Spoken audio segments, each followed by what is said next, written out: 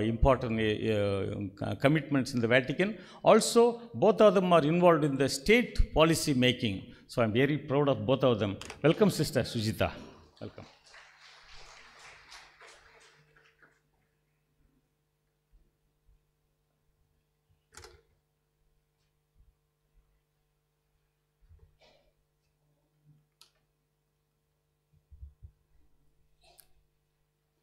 You know what is coming to my mind? Matthew 15. They said, Jesus looked at the crowd, he had compassion on them, and so he fed them.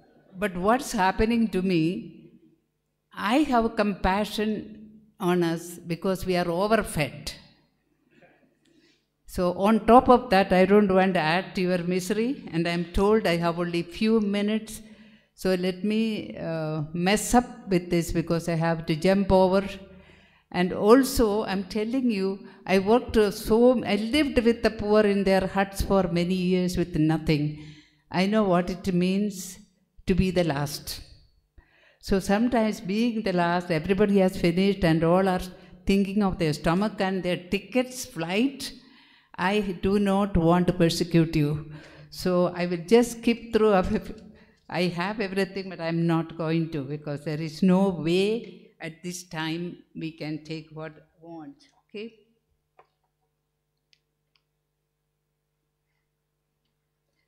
Uh, the, I, I think already um, Luis has very well explained already the importance of the gospel reading um, it helps us to see the urgent needs of recasting not only formation but religious life itself. And we've been saying this for years. Sometimes, you know, I also feel, uh, you know, it seems uh, they, uh, in a meeting, they kept on talking and talking and talking. One old sister from behind got up and said, Damn it and do it. She was so angry and she walked off. I think we are at a stage now, let's do it.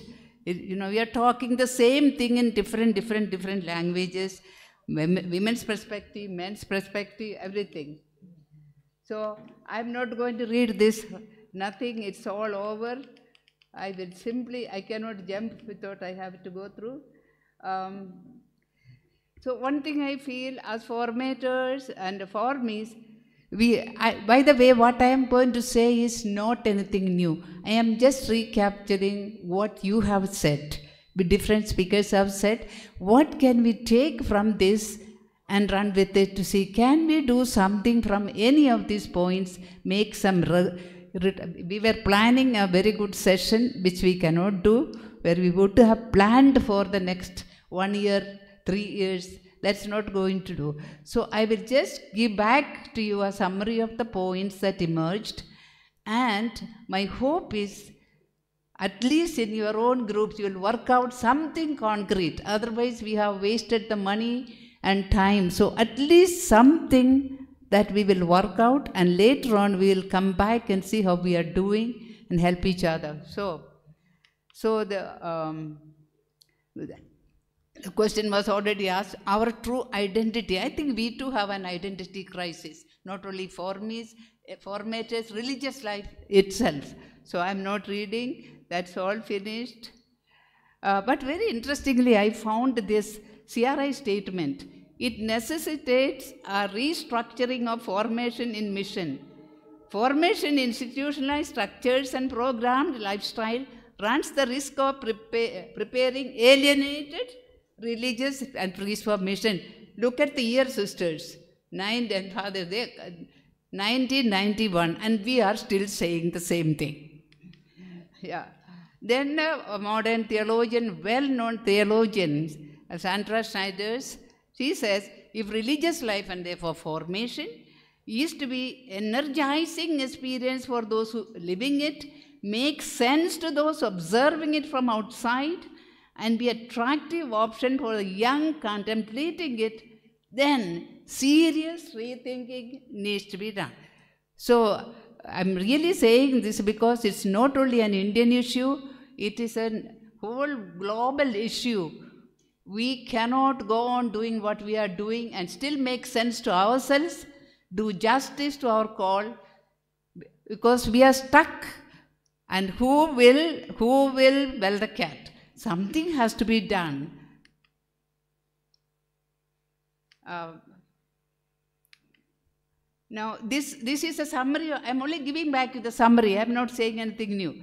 Some of the things are what will help us to have this roadmap. Reading the signs of the times from the gospel perspective. It's very important. World realities, Indian realities, teachings of uh, Pope Francis, the stirrings of the Spirit within the church, globally and here. That will guide us rereading our congregational charism and mission and priestly vocation in today's context. The question is what, even for religious, not what our uh, founding mothers and fathers did. What would they do now? They were men and women of their times, and we keep on holding on them like they cannot be changed. They will be men and women of today. Have we done that with our charism and spirit? the identity and background of the young men and women, Generation Z or Z, who are attracted to this life of priesthood.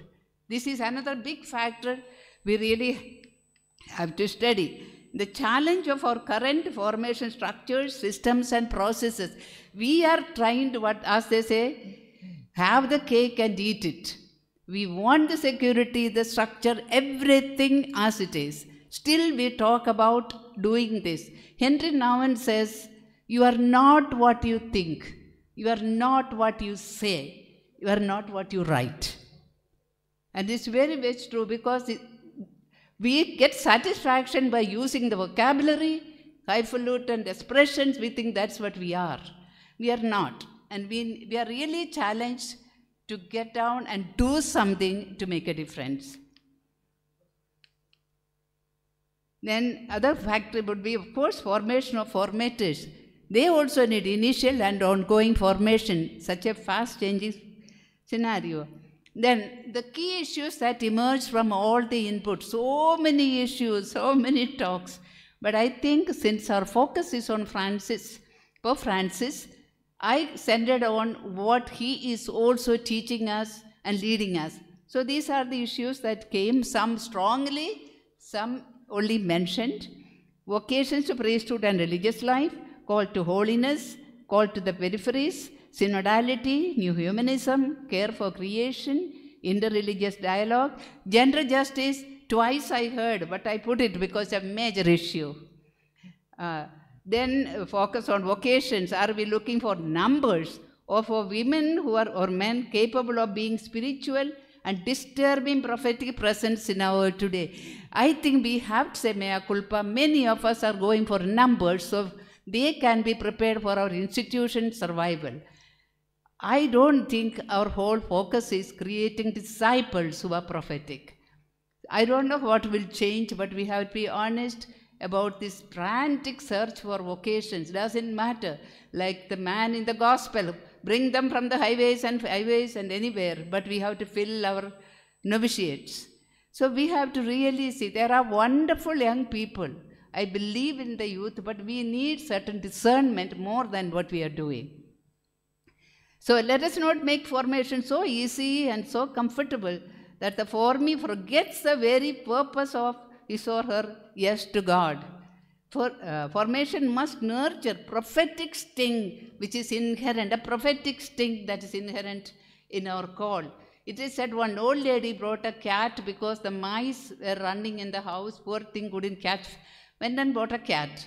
As soon as the cat came, started running around catching the man, uh, mice. One day it rained and the lady thought, poor little kitty, put the kitty in, the, in her lap and started feeding. Kept on feeding. After about a week or two, one mice came and the lady is saying, go kitty, go, go. The kitty goes, didn't want to go anymore. So we are doing sometimes, we, uh, the kitty forgot its cattiness. It's meant to be a cat, not a baby, not a pet. So same thing sometimes the formation and take away that prophetic sting, that prophetic audacity that is hidden in the hearts of the youth. It is there. So, this is something to think about, not a cat in the lap. The making of a disciple takes the asceticism and perseverance of a lifetime. Jesus did not say, Take up your ice cream and follow me. Take up your cross. So, there is definitely a hard ascetical reality. Don't let us know. Soft toys cannot live this life. And I don't blame the youth, I blame we formators who are not able to provide that.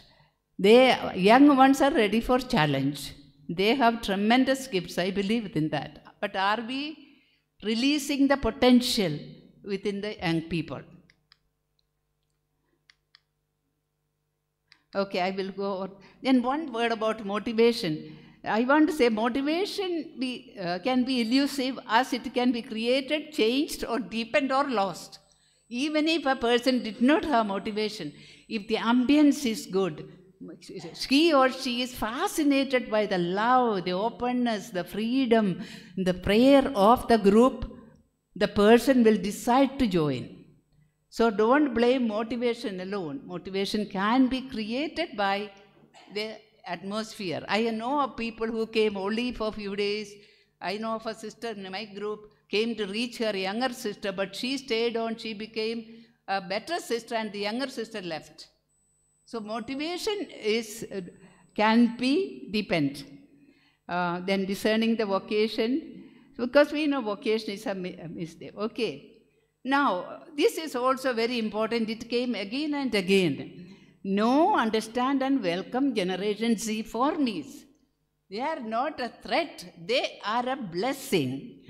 They know their energy, experience, knowledge, interest, spirituality, aspiration, their skills, their motivation, their dreams, their strength, their shadows, their feeling of, but this also you have to pay attention. Somehow the generation feel the oldies don't listen to them, don't take them seriously, don't understand. That also we need to address. We have to be humble enough to look at ourselves. Then the second big theme that came was called to holiness. Many have spoken, so I will go. I will not read any of this. Um, but the Vita Consecrata says the primary objective of formation is to prepare people for the consecration of themselves to God, the following of Jesus, and at the service of the mission. And uh, I was one of the uh, organizers of that uh, International Congress on Consecrated Life to, uh, 2004. Beautiful, passion for Christ, passion for humanity. Beautifully brought out whatever you say, 20 PhDs cannot mean anything if there is no passion for Jesus, a fire within us.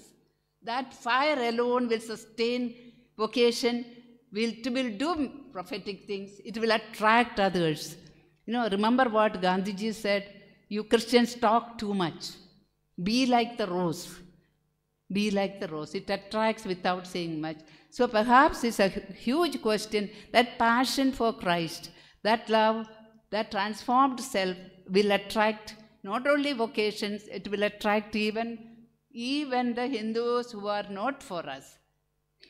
I often say the only thing nobody can steal from us, BJP can take our institutions, they can stop us, our FCRA, they can do everything. What they cannot touch is the witness of our life, being Christ like. They cannot stop me from being Christ like, compassionate, humble, listening. That they can't take. Maybe that may be the only weapon we have right at the moment.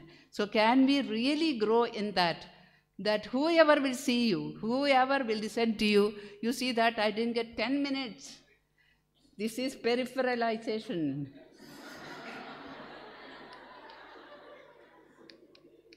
Okay, I think I, I'm not even one third of what I have to say, but you know, good religious, so I have to be obedient, you know. But uh, I, I feel very bad because I have a lot of points towards the end, which I don't think, okay. Anyhow, my theory is all spirituality is relationship. I believe in this totally. And I, I challenge my uh, for me tell me one thing that doesn't come within this four relationship. So making for me is very relational, relational people. How can you talk about relationship in our own, maybe in our communities, in our seminaries, other places? We can't even sit together and talk what we really think. Afraid, you're afraid of each other. How can you have a formation anywhere? So I would challenge all of us create ambience where relationships are primary. You talk what you think, you respectfully listen to the other. Without this is a beautiful uh, practice of spiritual conversation we talk about. And we don't have the ambience of to speak what is in my heart, in my mind. And so we are getting caught up in nitty gritty little things. The nation can burn, the poor can die, the migrants can be going anyway. It doesn't matter to us. We are caught in our relationships, worries, little things. A beautiful consecrated energy for the mission of Jesus is wasted because we are not cleaning our own house. We are not men and women of synodality, communication, participation, mission. I really say, I'm saying we. It's an area we need to clean our house first, make our house beautiful for formies, formators, where we feel this is a temple of the Lord. Then we can take it outside. When we don't leave, what authority we have? Jesus spoke with authority only because he was doing what he was saying. And I think we cannot speak with authority until we address these things. I will, I think I have no time. Okay. Call to mysticism, prophecy. Okay, let me see. I will just go. I had a lot of other things. No, let it be. I think I will just call it. Ah, maybe my last slide. What to do? Ah, oh, sorry. I want to say something about this. I chode this. As I say, I am a Bihari. Chodenge nahi isko. Okay. This is a uh, formation must address gender sensitivity. This very little it is coming uh, because uh, it's not a it is not a God made thing. No, it is it's our own make and we can change it. Personal conversion. Here I want to I want to say something about here. Hmm, see, sorry, everything changed.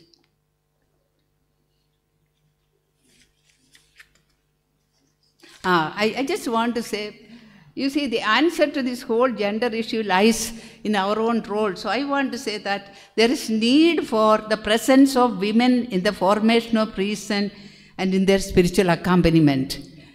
We must be, men and women must feel at home with one another. My goodness, see, that freedom with responsibility and maturity, very important.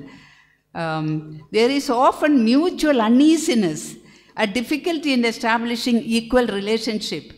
And the seminarians must interact with the women in natural way, just as you know, the formies, women religious also, and also to face the challenge that the presence of women and the attract, attractions we feel, no problem, it's perfectly um, all right. But what I'm afraid is if that is not done, when a priest is ordained, he goes to a parish, there is a sister who is maybe uh, some 60, 70 years old with a lot of experience. In no time, her experience has no value, her presence has no value, she's set aside.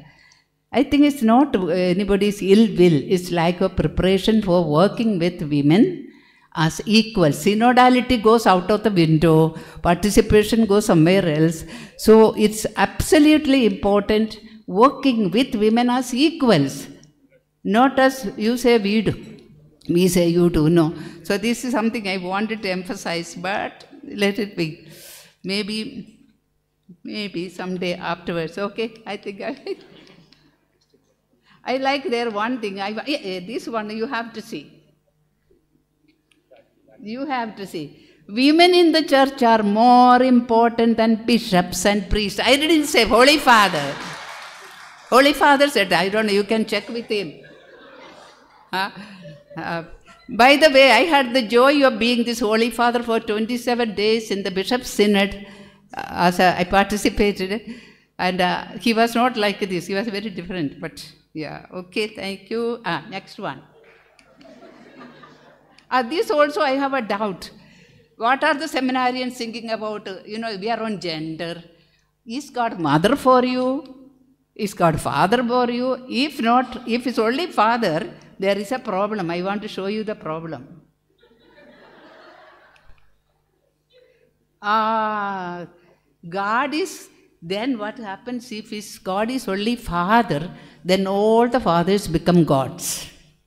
You understand? If uh, God is only father, all the fathers can become gods. We have to be careful. Huh? Just, just, just a word from an old sister.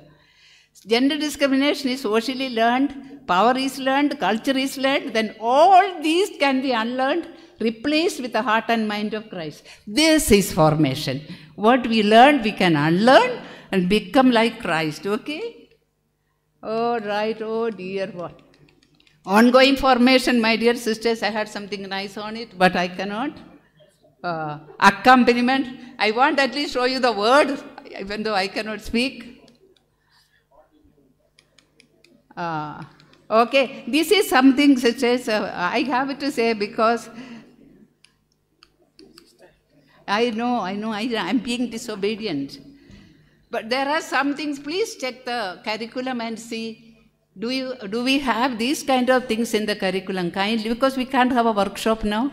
So I'm asking, you know, some of these things must become part of our curriculum information.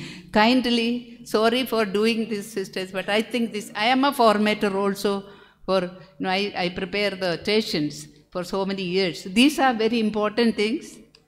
Okay, all right, sisters. My goodness. Okay, I, I surrender.